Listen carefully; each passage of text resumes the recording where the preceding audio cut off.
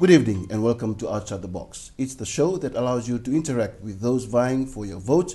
And a quick reminder we had invited all registered parties to be part of this show. Those that have so far accepted have featured on the show. Let's now take a look at, our, at, at how our results from our daily poll. We appreciate all those who have participated and given their views. Yesterday's question was Should voting be compulsory? 62% of our viewers voted no, while 29% of you agreed, and 7.4% were sitting on the fence. Today's question is Should political rallies be opened to students? Text your answer to a simple yes or no to 3592. The poll is open to Vodafone, Digicel, and Inkk users. Charges apply. Now, joining me in studio tonight is Joe Waqabaca or Josaia Waqabaca from the Fiji Labour Party, a name many may not be too familiar with, but we're about to find out. If you are like to, if you like to ask uh, Joe Waqabaca a question, just text in uh, 3599 or call our studio phone 3302 Mr. Waqabaca, welcome to the show. Luna. Now, I've been specifically told that you will come tonight to talk on land. Your focus tonight is on land.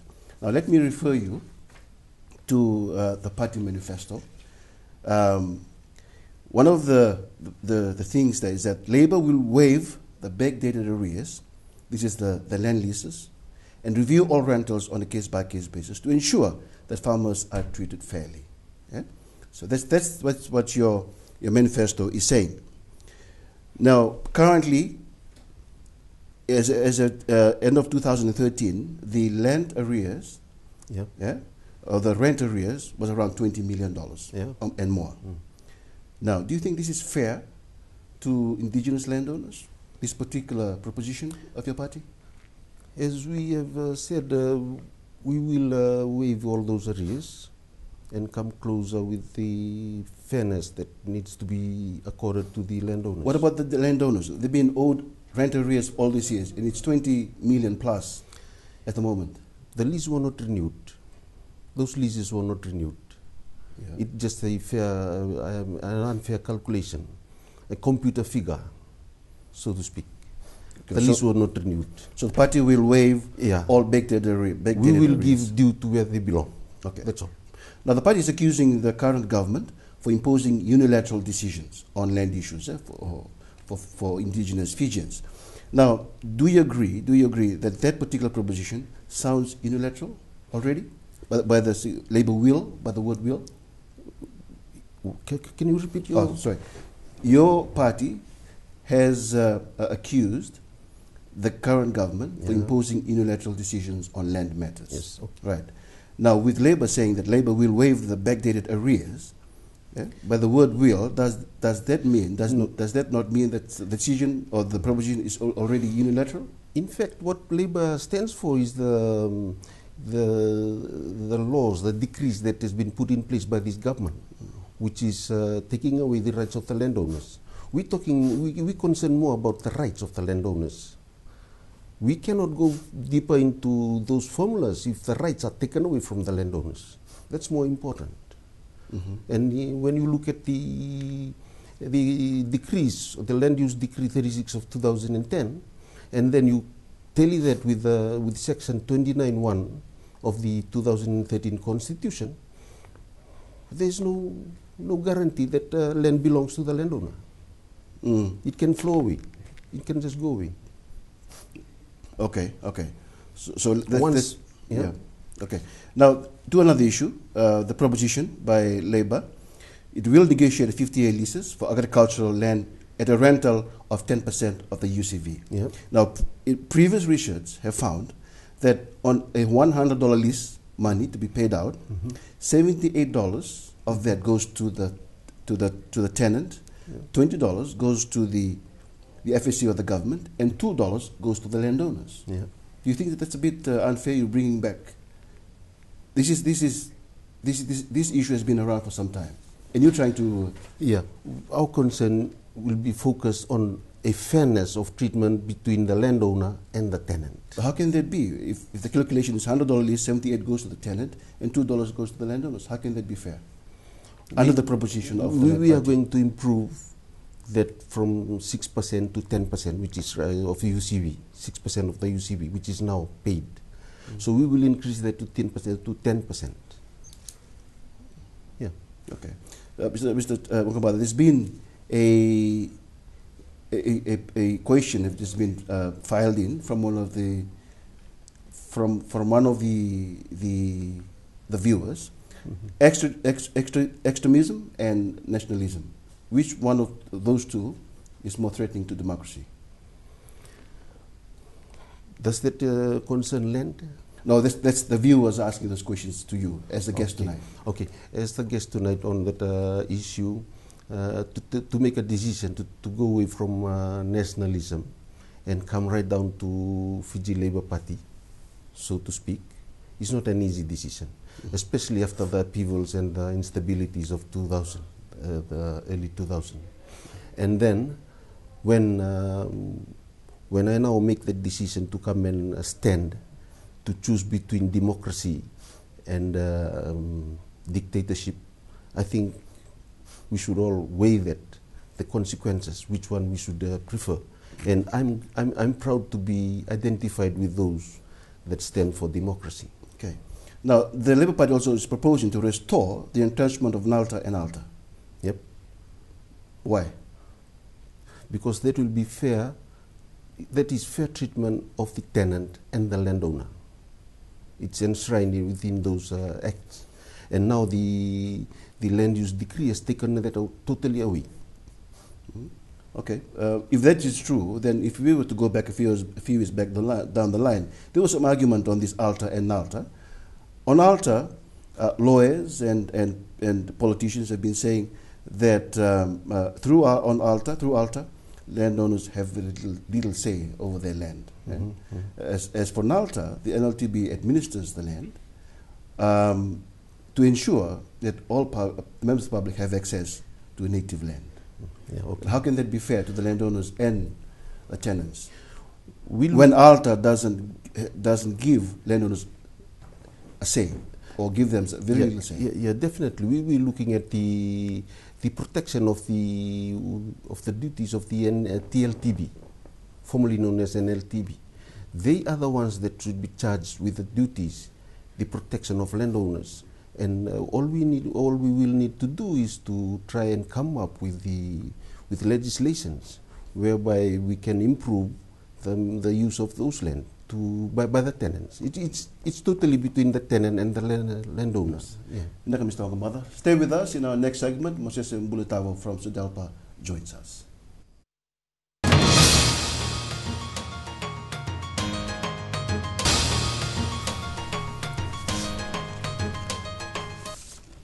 Welcome back. Join our discussion live tonight by texting in your questions to 3599 or call our studio line 330 to 100. And remember, you can have your say in our daily poll. The question is still, should political parties uh, be opened to students? pardon. The question is still, should political rallies be opened to students? Simply text yes or no to 3592 to all Vodafone, Digicel, and Inkk users. Now, Mosese Bulitavi from SODELPA joins us. He may be green to politics, but don't just count him out yet. Let's find out what he can offer to you. Mr. Bulitavi, welcome to the show. Now people are asking, who are you? Well, I'm uh, Moses as you've said, uh, Mika. I'm a lawyer by profession. I specialize in constitutional law, institutional, uh, international law, and uh, land laws. Mm. What do you think of the land bank? Uh, it'll be the first time uh, where uh, land will be designated. Eh? From uh, previously, native land was only administered and controlled by native land. But for the for uh, uh, having a land bank, uh, freehold land, native land, and crown land will be controlled by the state, and that will be a conflict of interest, as opposed as the interest of the state in regards to the economy, and the interest of the customary landowners may conflict, and uh, it really needs to be balanced out, and proper policy thinking must be done before any framework uh, should be implemented. Mm. Does that concern you as a, young lawyer? I, am told that you are uh, just 32 years old and you're already a lawyer. Does it concern you as a young lawyer oh. and, and, an indigenous Fijian? Of course, it concerns us. Uh, the proprietary rights of our tribes. Uh, all those land titles were uh, registered as uh, native land titles with NLTB. Uh, we can have implications eh, through the policies of the land bank where the consultation uh, rights of the landowning units could be deprived, um, undermined by the state's interest to economic growth. eh. The intentions of the current government uh, is that uh, this is an alternative for landowners. Um, you know, it it, uh, um, it doesn't uh, charge survey fees, and the process of uh, acquiring a land for lease is, is very very fast, and it's good for investment for the country. Uh, well, uh, Land Bank was uh, designed for investor confidence, and uh, secondly, uh, Land Bank was brought about to remove the bureaucracy in regards to NLTB. But uh, the consultation process, where the landowners are bringing, brought in rather to, to, to have their the interest protected, I think there is no lease structure yet with the Land Bank, and uh, most of the uh, trusteeship role are performed by government. Uh, the commissioners and the provincial administrators are, trustees of uh, land owning uh, for the land owning units, not like NLTB, where the trustees are appointed by the mataqalis. This previous, the previous uh, uh, guest tonight, uh, uh, we had touched a bit on the on his party's uh, intention to restore the re-entrenchment of the NALTA and NALTA uh, under the constitution. Um, did it exist in the previous constitution? It existed as an entrance provision under Chapter 13 of uh, Group Rights. The, the current constitution, the 2013 constitution, has removed uh, the entrance provision. Now that uh, customary rights has been subject to a limitation clause under Bill of Rights. The entrance provision that were there in regards to Section 64.1, where the GCC had uh, appointment of 14 members into the Senate, if nine of the 14 members do not approve any amendment regards to NALTA or Fijian Affairs Act, those provisions uh, cannot be changed. This was a protective principle to protect vital interests to land. What that is, what is your reading of the 2000 constitution on the same issue? 2013. 2013 Constitution, uh, according to Section 47.3 of the Constitution, it says that the bill can be, you know, more faster to approve. Uh, a motion, a move of the motion in the morning can raise up the motion, in the afternoon the, the, the Parliament can, uh, on simple majority. Whereas in the previous Constitution, there were entrance provisions in regards to the approval. Sorry, there- there's been a, a, a text from, the, from one of the viewers, and the question is uh, mobile. Uh, what is your view about continuing uh, free education after elections? The, the text uh, was texting from the number, uh, this, uh, yeah, 7036, the digits. eh? SODELPA's position, is it's enshrined in the uh, uh, I think we need to review uh, free education. I think Fiji should not end up like Greece, where everything was free. And now I think the IMF has uh, done a uh, bailout for that because of free. Nothing is free. Uh, there's expenditure that the government will have to incur in its budget. And uh, currently the government is uh, spending about 2 billion and revenue coming from FRCA is 1.5 billion. So we really need to minimize cost and expenditure. Uh, people to have ownership in their education and not the state to own our degrees and accreditation. Okay. Now, a question to you. What, what do you think of people who are involved in graffiti in this time of elections? Do you think it's, it's, it's good or bad? Uh, the advice uh, that I can give is them to follow the, the legal and constitutional process set out in the electoral process that we are now transiting to democracy from a dictatorship position. Uh, I think there needs to be a transition plan, a political reconstruction mandate that will be there uh, for us to negotiate and bring about national consensus in regards to uh, reconciliation and other things. We have to keep our political will intact and follow the law uh, because no one is above the law. Just final question. What, what, what, why do you think people should vote for you into parliament? You, have, you are contesting other, with other um, candidates out there, 250 or more. Why do you think people should vote for you and not them? I'm young. Uh, secondly, uh, uh, going into parliament, parliament is a legislative body to make law. Uh, we really need to make uh, to appoint people to go into elect. I mean, to parliament to make laws that an impact. Um, you know, a structure of government that we can transform people into leaders and leaders to be agents of change in society, where a structure of government uh, can be designed, where people's needs are known, understood, and uh, people's dreams to be fulfilled. Uh, Mr. Mbulu Uh, Mary from Wakaya is on the line. Now, Mary. Mbulubinaka. Mbulabinaka. What, what's your question for Mr. Bulitavi tonight? Mr. Mbulubinaka. Yeah, Mbula, Uh, we can I hear would you. like yes. to, um, what uh, is the Sodelpa can do? Uh, what uh, the Sodelpa can do about if a public would like to lease the land? Mr. Bulitavi, you've heard the question? What is your answer to that? If public want to lease land, Yeah, what is what, what, what can you do about that? Well, Sodelpa, as it's already in the Native Land Trust Act, Section 9 provides for conditions to lease land. I think the, the board now is the ultimate uh, heir of native land. Um, when Sodelpa government comes in, we'll see into the interest of um, leasing, although uh, native land cannot be transferred or sold, the only access for the economy is leasing. Uh, to provide better leasing conditions, uh, the manifesto as it reads, we are giving to first-time business people who are really going to develop their land a two years free lease and uh, for government to pay those lease and other concessions at least to develop them to become entrepreneurs. Mr. After the break, in our final segment, we speak to Peni Turaga from the People's Democratic Party.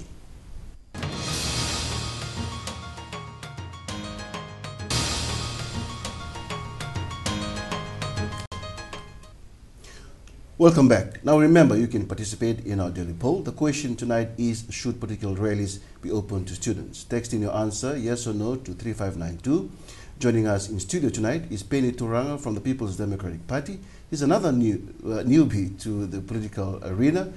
And um, let's hear from him. Mr. Turaga, welcome to Outside the Box. Welcome. Tau. Like the previous uh, uh, guest, you know, I asked them same question. You are a new face to politics. That's Who right. are you? I'm Peni Turaga from uh, Ra. This is a place that uh, originally has been said, now it's been said to be to be the poorest place, uh, poorest province. But uh, we asked the question, uh, how much empowerment has been given by the government to Ra? Uh, me as a person, I, quali- uh, my qualification include a diploma in, uh, in uh, education, mathematics and science, and a bachelor for for arts in uh, economics, uh, public administration, and human resource, plus masters in uh, business administration. I have been uh, working for the Ministry for Education for 32 years, uh, rather for 33 years. 22 years as a principal, two years as a as an assistant teacher, two years as a um, as a uh, HOD, and then seven years in, in the Ministry for Education. In the seven years, after uh, seven years, I was told to to uh, to have a rest because I have reached uh, 55. Then I went to join the community work yeah, in, in places that I've uh, that uh, I'm living in, uh, like Cornivia and uh, and the Buleb housing, and uh, I'm involved in the youth group uh, with the teams, uh, clubs. I'm the director for uh, the, the Buleb Knights and being a board member for the uh, National Fiji uh, Rugby League. Uh, thank you, uh, Mr. Turaga. Do you agree with the current government's uh, policies on education? Well, they have uh, this uh, free education. We call it uh, tuition free education. It's not free. Somebody has to pay. And there's the other part of it. Once you become educated, we go up to write Form 6 and you get uh, your university uh, certificates. When you come back, there is no education. There is no job for you, even though you got the certificate. So there is no linkage between this uh, education and outside of education. We don't find the job. So right, like we have now in the in the job market, there's a lot of people who are unemployed. They have certificates, but they cannot find a job. So there's there is something wrong. There is something wrong. Uh, And, and it- your, your party can provide that uh, the missing link? Yes, this is mass education. We want quality education. The buzzword here for us is quality education. We want quality education linked to the jobs, linked to what they will have to become after they have their qualifications. Mr. Turaga, this MLA from Motok is on the line. Uh, Right. Muluminak MLA? Muluminak MLA? Bulavinaka. Yeah. Bulavinaka, sir. Bolvinaka. Bula, I have a question. Yes. Um, how has PDP responded to land ownership issues so far during the campaign? land ownership, uh, so far uh, PDP has, uh, is not uh, uh, with is not with this uh, regime's arrangement for land bank. We are totally out of it. Uh, PDP PDP is, is not uh, supporting this because because let's suppose uh, we give our land and uh, we are not uh, certain, we are not uh, pretty sure what time this, this land will come back to us. After someone has taken it, might be sold to somebody else, and after that, somebody else for the 99 years, and then the landowners are not uh, sure what time they will receive the land back. So we are not with it. So what alternative? Another another viewer is texting. Mm. Uh, what al- alternative is PDP uh, proposing as opposed to land bank? Well, empower, empower the landowners. And how do you do that? Yes, give them uh, give them uh, facilities whereby they can improve the land to be productive. Okay. Yeah. And how? Just just elaborate more on that. Pe- People would want to know how is that done. Right. So there these linkages. There should be linkages between the farmers Yeah. and the markets Yeah. and outside the markets to other uh, countries. This is not with us now. Sounds like Yes. a freebie to, to the landowners. Yes. Is it? What is that? Sounds like a freebie. You know, you're giving them something. You know, uh, back in the old days, you empower them with uh, Ah, facility, with equipment, and Yeah. And you know, with uh, certain funding from government, and, and they don't do anything. No. And you're trying to, uh, your party is trying to do the same thing. No, no. They will they will work for whatever they receive. If they're using the manure, if they're using other tools, this will be paid back by them from their products in the farm. Hmm. Just back to education. There's the, the the acting permanent secretary for education now is is telling head teachers around the country in a in a short uh, workshop uh, earlier today. Mm. Is telling them uh, you know make sure that uh, students, especially those in secondary school, Mhm. are, are, are not uh, uh, are not to be seen in political rallies. Do you agree with that statement? The statement uh, they, should they should especially the voters they should be seen uh, or political parties should go out to schools where voters are. As we so know, you disagree with it? You're saying secondary school students who are 18 yeah, voters. who will be voting should Yeah. be present in political rallies. political rallies and also in the schools, where, with whatever means that uh, they can get the information. They must be well informed before coming to the uh, ballot box. The, the acting permanent secretary for education is Yeah. saying they may be maneuvered, they'll be misled by politicians. You agree with that? Uh, well, if, if, if the door is opened to Mm. students to go and, and attend political rallies. yes, I, I think they should. They should be.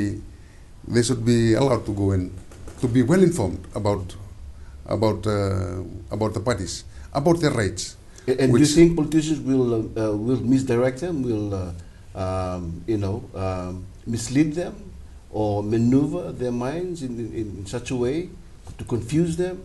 You know, they're, they're still young. Yes, but uh, the, the problem is these students do not know the rights. They must know their rights. Now, what we have now, this regime is cutting off all these rights and giving them uh, papers in the school, whereby it's, it might be biased, right? So, if the political parties, if they come to rallies, that should be a good way whereby they can get information from uh, from parties. That's wrap us up for this week. We'll announce the results of today's poll next week. Remember, you can still text in your answers to our poll. The question will be open until 6 p.m. tomorrow. Again, the question is, should political rallies be open to students? Text in your answer, yes or no, to 3592. But before I leave, our quote of the week, in the words of genius Albert Einstein himself, politics is more difficult than physics. Join me again on Monday as we continue to profile candidates from various political parties. Until then, have a great weekend. See you next week.